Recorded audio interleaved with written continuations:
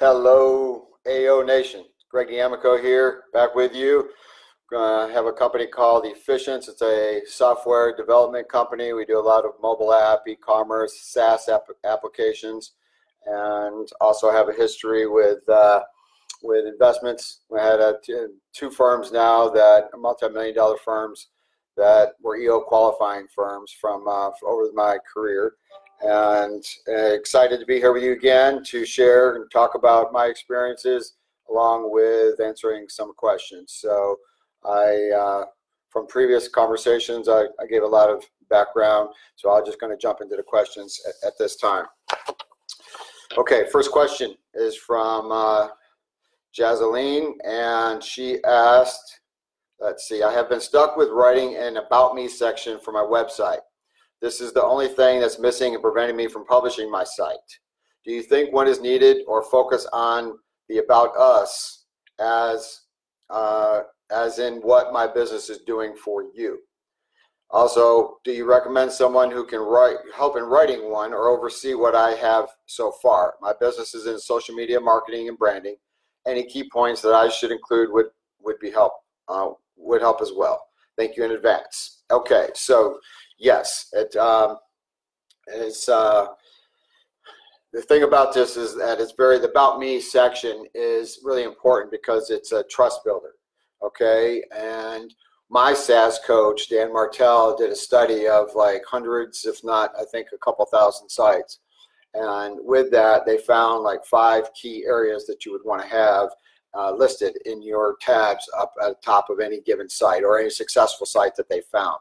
And in that, the uh, about us or about me section was was very uh, uh, was one of them. So you want to have that in there because you want to have the ability to build trust and credibility, and you want to have things in there that's going to allow that to happen, whether it be uh, feedback from clients, testimonials, and so forth that gives rise to um, what you do and how you do it. So I would say that um, I, there's different uh, areas on the internet that you can find writers. I've got a guy that I found through a, through a, a, some mutual connections that does some writing for me. So I just email him and engage him on a specific task. He gives me a price, and I I approve, and then we move forward. So that writing thing is always it can be challenging for people that don't have that background or don't have their brain doesn't work that way, which it definitely doesn't work that way for me. So there's uh, something I saw out there like innovativeinc.ca was a uh, was a site that I ran across recently that helps people. You know, you got like you got sites like 99 Designs that does this type of work for design uh, design people and so forth. And you may be familiar with that. There's other sites out there for writing, and there's a lot of these people that are like stay-at-home moms or others that just do contract work that work very cost effectively and are very good writers. So finding somebody that works in your space would be advised who has some familiarity with sites that do the type of work you do if you can find that. But general writing they do what they will do is they'll go research the heck out of things read a lot of stuff and they'll be able to create the content that's just like wow they know more about my business than i do. So i would um, i would definitely engage and and and uh, look at those options. So good luck with that.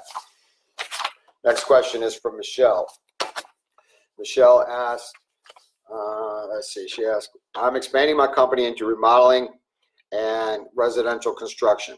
I am looking to hire someone to oversee the subcontractors that will be doing the actual work. I am trying to figure out the best pay scale for this person. I was thinking it would be best to pay this person on a per job basis.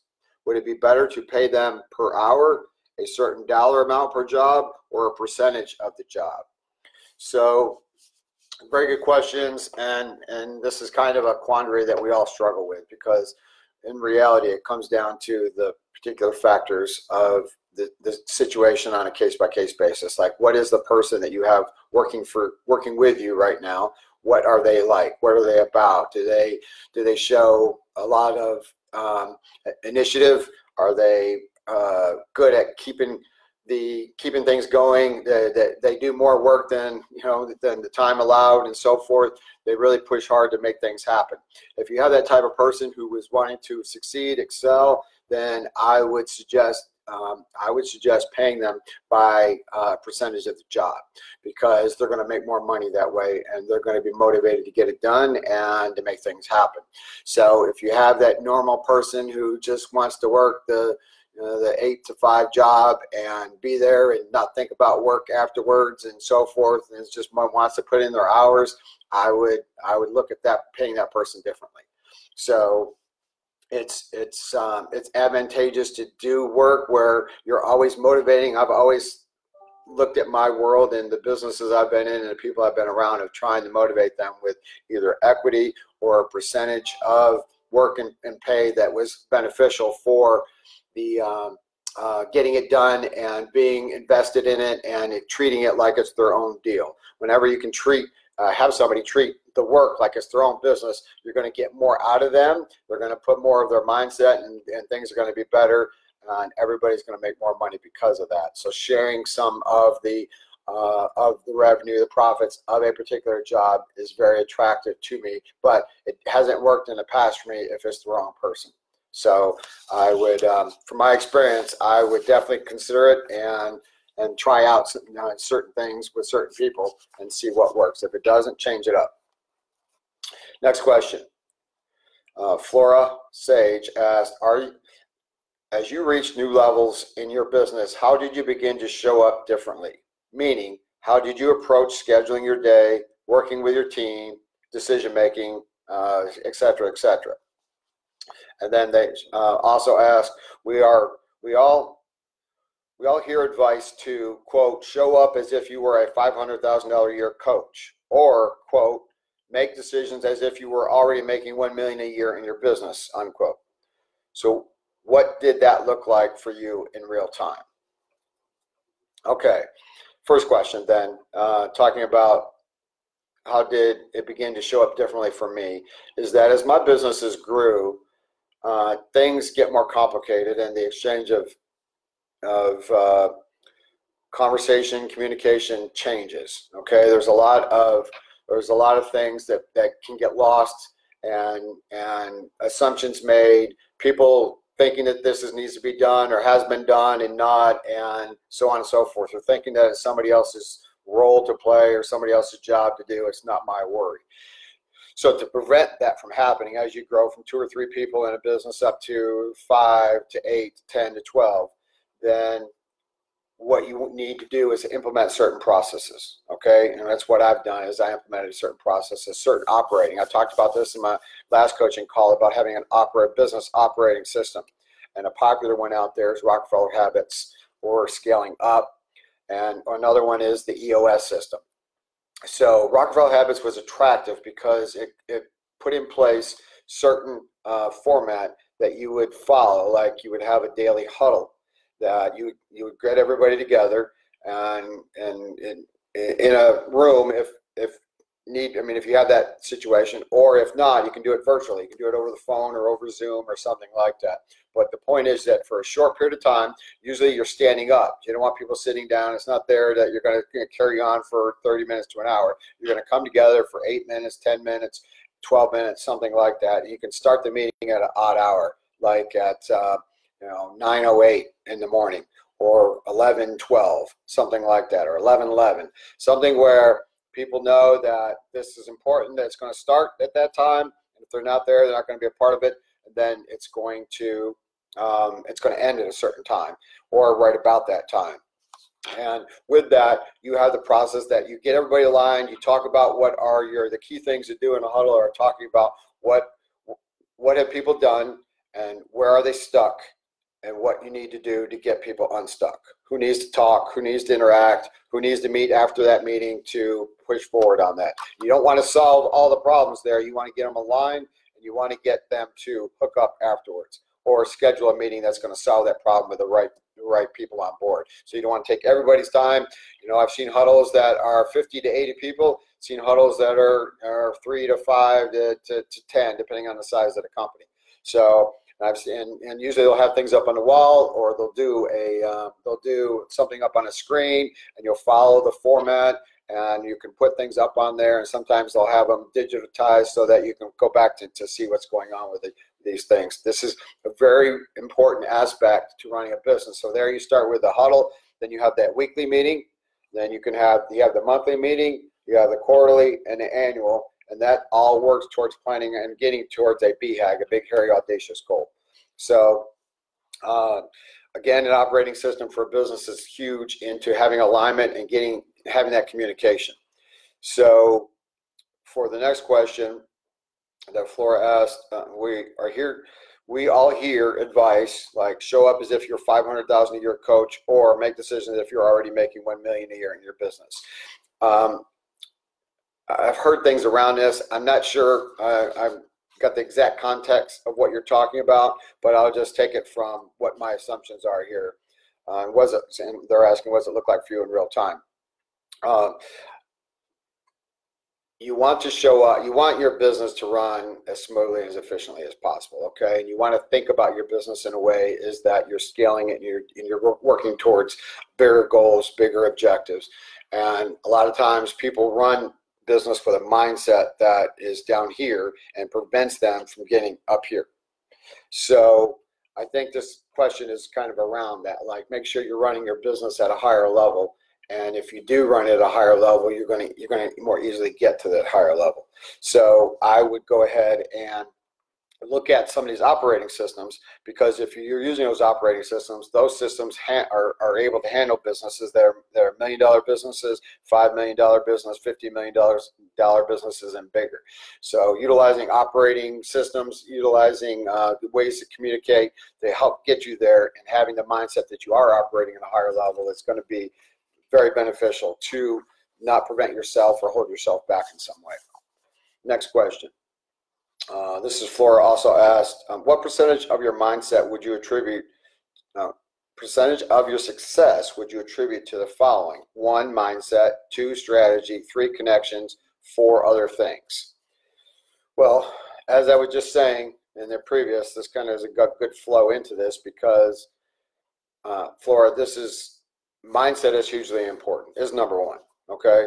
Because what so many of us don't realize is that as we struggle and fight through the um, our business world and we run into all these roadblocks and headways and things are, are very um, difficult it is in that we all talk about our successes and how we had to struggle and how we had to push through them all that's all great but a lot of that trouble and a lot of that difficulty comes from our mindset okay?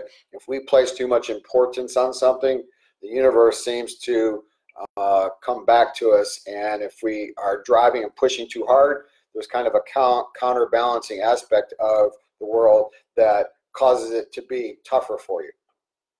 And you know, like when you're think about the, the time when you're rushing to get somewhere. When you're rushing, I got to get here, I got to go, and you're placing a lot of importance on that. What normally happens? You get more red lights. Okay, you get uh, you run into traffic. Uh, the train comes by and stops you. So whenever you're placing so much importance on it, things kind of uh, work against you. And so, one, lowering importance and making sure your mindset is, is in a, a way that allows for you to be opened up to um, making your mind or opening your mind to a level that is achieving success that's not holding you back. A lot of people um, say like, okay, well, if they if I just made hundred thousand dollars a year, then everything would be great, and so on and so forth. And they get to hundred thousand dollars a year, and then when they want to go more, their mindset is still stuck at hundred thousand dollars a year, and they they have a hard time getting past that.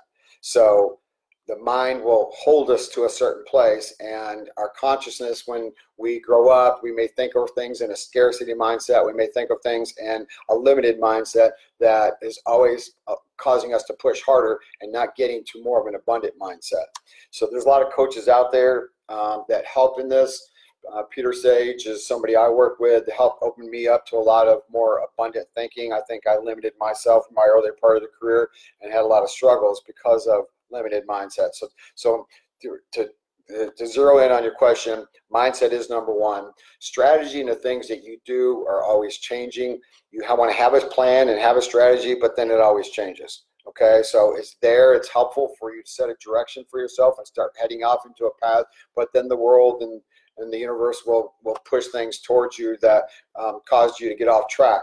But if you do have that goal, that long-term big goal that you're going after. And as the world uh, continues to push things towards you that get you off track, you know that you know the goal you have you know that you can adjust and get back on so strategy connections are all important and things that you want to have um, definitely your network is very key ao and, and so accelerators organization entrepreneurs organization or eo ypo these other programs a network of people that i've met in these groups have been very helpful for me to achieve um, success in a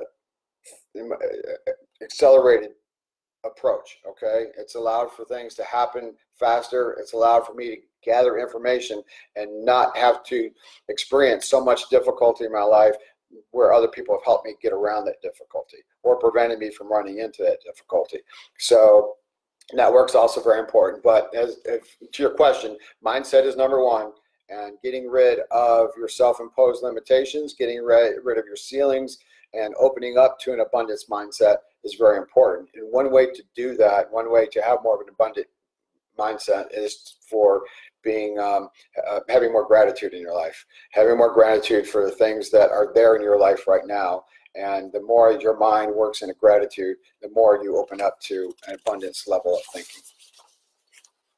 Next question, Joe. Uh, Joe asked, I am getting ready to officially launch my new company, Liberty Home Watch Academy. I'm thinking of doing a FB Live so that everyone can hear and feel my passion that I have for this new venture. I also hope that my network will see this and can start referring people to me. Do you feel FB Live is an appropriate platform to announce my new company, or are there other better alternatives?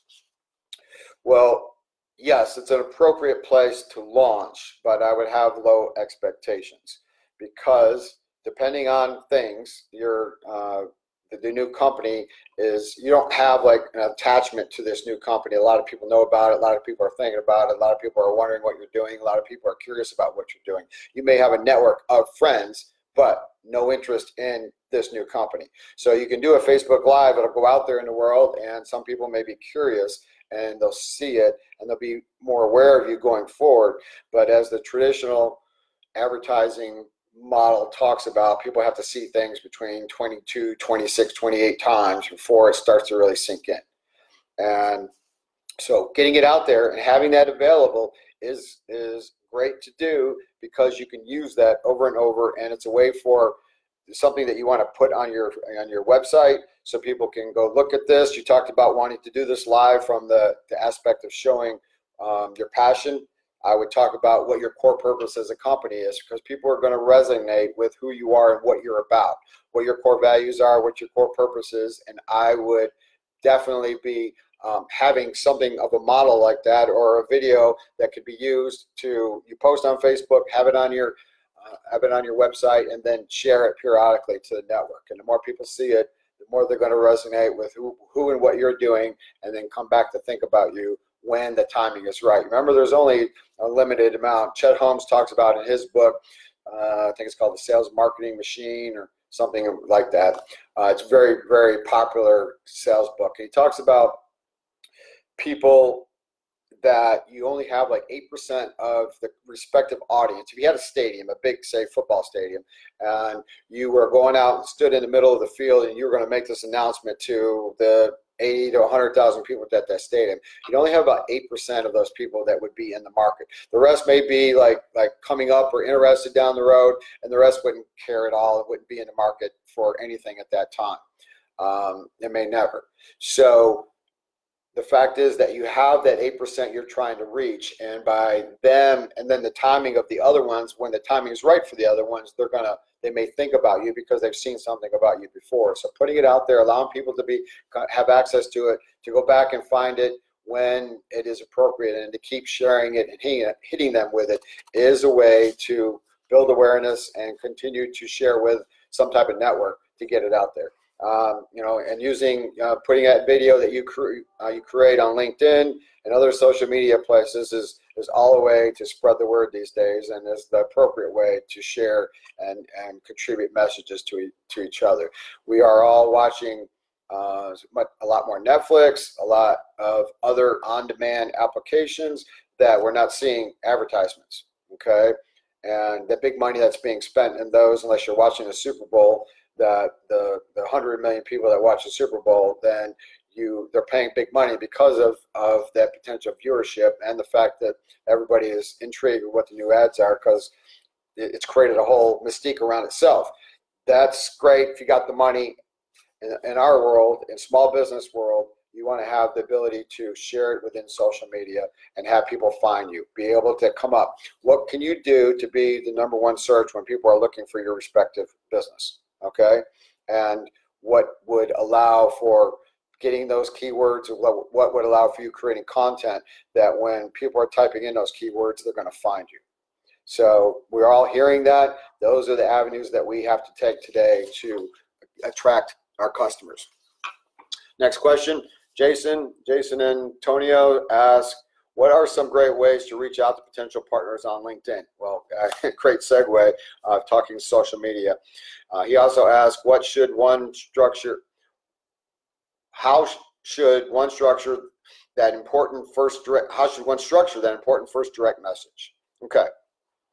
So potential partners, when you say potential partners on LinkedIn, are you talking about business partners or are you talking about clients and customers that you're trying to sell to? So that's a distinction that I want to talk about. So um, I would assume you're talking about going after potential customers and, and reaching them on LinkedIn. I've used LinkedIn to connect with people and I find it to be very attractive. Depending on the respective field you are in, it is great for B2B, especially if you have a profile that is similar to the profile of people that you're after. And if not, it's fine, but making sure that your LinkedIn page is structured to talk about the things that you're going to be doing for the respective business that you go after. Uh, you, adding Sales Navigator to your LinkedIn, it costs like I don't know, 80, 90 bucks a month that they have Sales Navigator, but it's such a great tool. You can set up, go in and set up the parameters, and you can start sending out certain list to or certain number of messages. You can only do so many a day. Certain number of messages to this audience that you're going after and sharing a message to them, and asking them to friend you first, and then once they friend you, then they and the reason why they should friend you. Then once they friend you, then you get a follow up message and so forth. Now, there's different avenues of thought relative to this, like is this a good way to connect with people? Should they hit them with something? If I'm connecting with somebody, are, are is that too forward to hit them up with a sales message right afterwards? You have to determine how you feel about that and then how to structure it once you do. Okay, but it is very, um, very attractive way to connect with the right business, especially in a B2B type of environment and I'm using it and going to be using it on some new products I'm creating. And I find that it is a way to reach people, especially if you create the message that's appropriate for what you're offering. And so you asked about that. What's, how do you structure the message? Message the message. I mean, there's no general right way that you know say you do this, this, and this. You're going to have a great message. It's very. I would utilize a message that is that explains exactly what you're offering to somebody in a very polite, appropriate way that gets them gets their attention. Okay, so if you're thinking about your space, what you're in, you're going to say, um, uh, you know, if I'm selling like uh, sunglasses to somebody, okay, that is something that I'm not going to use LinkedIn for, but uh, just first thing that popped in my head. And if you're selling sunglasses to somebody, you want to resonate with a message that talks about these sunglasses. We have half off of major brand sunglasses. We have the best brands um, that and access to them that nobody else has. So, what are the key things that are going to grab somebody's attention? Is it if if anybody else can sell sunglasses, what are you doing differently that's going to capture somebody's attention? And then structure that in a very clear, concise, short message. You don't want long messages. So how do you structure the message? Or how, how, you ask, make sure it's short and to the point and resonate and has the ability to resonate with the, your target audience. Who is that audience you're going after? And when you, as a, uh, maybe sampling some of your tar- target audience with uh, this message, uh, friends that are your target audience or existing clients that are your target audience, run the message by them and say, if I if I sent you that, would that resonate with you? Would you be more open to um, hearing more about what was involved with those first lines in that message. So that's just a couple of ideas for you that you can you can uh, try out for yourself. Nathan Peterson asked, um, have two separate questions. One, we are a B2B company and our goal is to get in touch with people in HR who are also decision makers. What is the best way to get connected and stand out from others outside of cold calling, emailing? Two, what is the proper amount of time to follow up with both cold and warm prospects? Okay, well, I just talked about it, Nathan.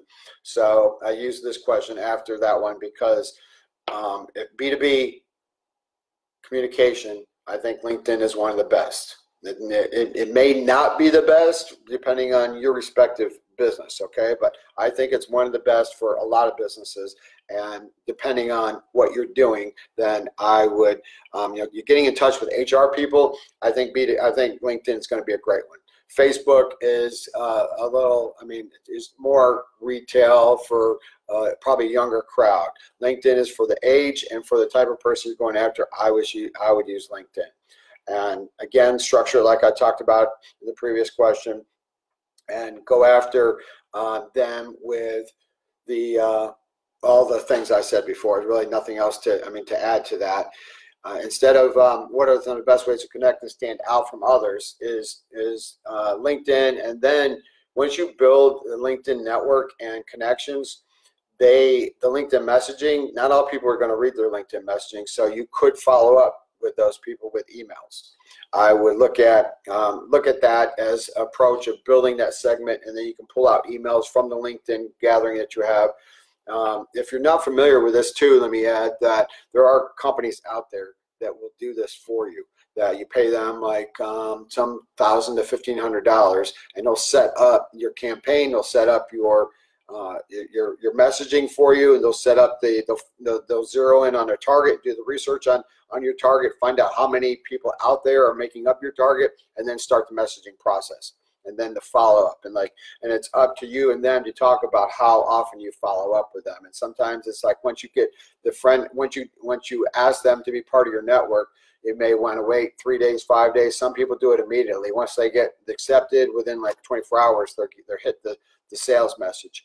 That may not be the way you want to structure it or it could be and it, it works. You know, both ways work but uh, certain fields may have a preference to be more considerate of making sure that they are getting comfortable with their network and getting their people comfortable with them before they start hitting them with a sales message. Um, what's the proper amount of time to follow up with both cold and warm prospects? Uh, there's not any standard time. Okay. Uh, a lot of people feel that if you call them within uh, three days from when you initially send a message to them, that that would be appropriate time frame. If you don't get a response from an email uh, or a cold call, to follow up in three days. Okay, I've heard stories of great salespeople that called the same person every day for a month and a half. Finally, got the person on the phone and sold the biggest case in his career. So that was a story of one of the sales gurus of, of the past, and I can't remember specifically which one it was, but it's it's so it's not to say that there's some particular uh, amount of time you should should add, you should wait to respond or, or follow up with people. Uh, it's just what you're comfortable with, and without waiting too long. You don't want them to forget about the message. So if you email them, I'd give it uh, maybe a two days, and then follow up with a phone call. Some people will send an email and or they'll send a, they'll call and then they'll send a follow up email. So we'll have both avenues uh, or both approaches to connect with them, and then wait to see if they call back or if they email back. A lot of people are more comfortable emailing back once they hear the email, once they get the phone call. So the dual approach can be successful depending on your network and, and, and who you're talking to also. And of course, you don't want to rub people the wrong way, but good salespeople will have a knack of having a polite approach and message on the phone that is reaching out to them in a way that is talking about their pain points. If you make a phone call or an email and you're talking all about yourself, people are not going to respond. Okay? When you talk about something that is respective to their pain, what is the pain that they're dealing with, and what is the pain that your service or product is going to solve, and you follow up discussing how you can solve their pain for them, you're more apt to get a follow-up response. That's whether it's LinkedIn, cold calls, emails, and so forth. So most important thing to re- reaching out and communicating and connecting with our customers is to talk about their pains, not you. They don't give a heck about you. They don't care who you are. They don't care what you've done. They don't care how long you've been around. They don't want to hear all that stuff. Okay? They want to know what what's in it for me. Okay? And when you can get a message to them and talk about what's in it for them and what's their how you're solving their pain point, you are more apt to have communication with these people. Okay? Um, when I had people LinkedIn send me a LinkedIn message and say, um, you have a software company and we work specifically with software companies and we solve these key areas and so forth. And I was like, I have those pains, I have those problems, and they solve them. Maybe I should talk to them. So, any messaging that any of you do out there, right, whether it's Nathan or any of the rest of you, please do yourself a favor and structure your messaging around taking care of people's pains and problems you're going to get more business that way and and they're going to be more res, uh, respective and receptive of communicating with you by doing so that is all the questions i have for today. Good being with you. Um, ao nation is awesome. Lots of great things are happening out there. Sh- Shawn is driving a great community of people. And if you put in if it, it, we say this in EO a lot, you know, what, what you put in is what you're going to get out. So if you utilize the mentors, you utilize and put questions out there and, and, and work with the network, you're going to benefit a lot more than if you just sign up and say, okay, well, I've signed up. So now where's, where's the win for me? What you put in is what you'll get out. Put in the time, put into networking with people. That's going to be a huge opportunity for you to advance your business and advance your even your personal life by being exposed to a great network like this. Greg D'Amico with Efficience. Talk to you next time. Take care.